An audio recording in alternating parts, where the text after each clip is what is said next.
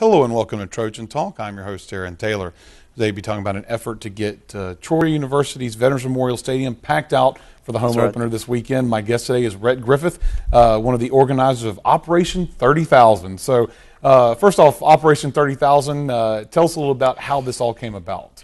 Well, uh, Operation 30,000 is a student and alumni initiative to pack the house, which is Veterans Memorial Stadium, on Saturday, this Saturday at 6 p.m. We're trying to have our first sellout in that stadium. And so, why started this this whole uh, process of getting all these fans to show up?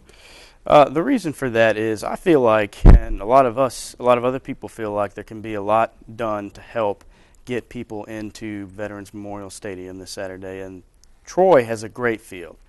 They've got this new turf, and I think that's a big deal too. And Larry Blakeney has a great product in the Troy Trojans football team.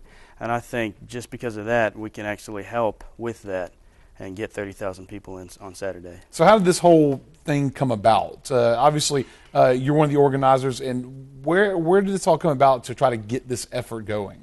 Uh, what we did is uh, myself and Cliff Lusk Jr. He's a sophomore trumpet player in the band. Uh, we're walking around the new Trojan Arena, which is very good looking. I think they did a great job with that. You'd agree with that, right? of course. Yeah. Great building. Great building. Absolutely beautiful. And uh, we were walking around one day, and all of the all of the athletics, the big three, I would say, are located in the same practical area now. So you've got football, baseball, and basketball on that pavilion, you could Mm-hmm. say. And so we're looking around football and talking about some stuff, and you know, we figured, you know, Troy has never had a sellout. And we thought, well, maybe there's something we can do about that. And uh, so we kind of co-hatched that plan that night. And so, why is it so important to have a sellout, have so many fans in the stadium for the game? Uh, this particular game this Saturday is against Louisiana Lafayette, and they are could be very well be the, the toughest conference game we play all season.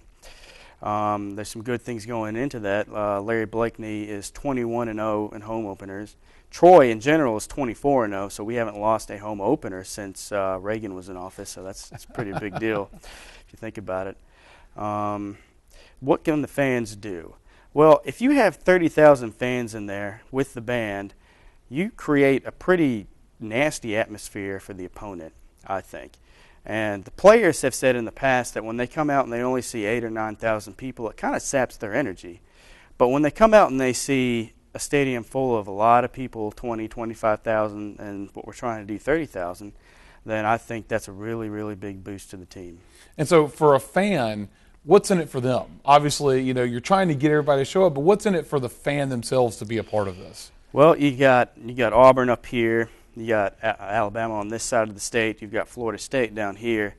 So if you're in Dothan, Montgomery, or in Troy, Troy is pretty much the closest Division One football team you can find. So it's a great thing to come out to on a Saturday when you don't have anything else to do.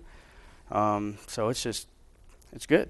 And you talked about the importance of this game, and obviously, you, you talked about the home opener. And this, I guess, it, it makes it for a good game for the home opener to try to get that good crowd for the first game, right? Yes. Um, you know, you look at other other games like Mississippi State and Navy; those are big draws that, in a lot of ways, can sell itself.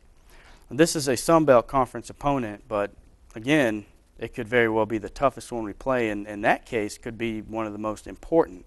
In a lot of ways, more important than Mississippi State. If we lose a conference game, we might not win the title.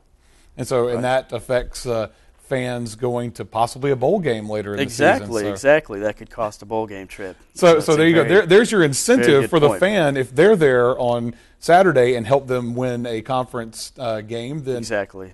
they, They have get a a chance reward. to go go to Exactly. maybe New Orleans sometime later in the season. Right. So, well, it sounds like a good effort, and uh, hopefully you'll get thirty thousand there. Uh, I know I will be a part of that that crowd, so hopefully. I'll add my one to that thirty thousand. But hopefully there'll be more. And if anyone wants some more information about this, it, how can they find out more information about it? Uh, they can go to go, uh, gotroytrojans.com. Okay. Or they can go to the Facebook page, Operation 30,000.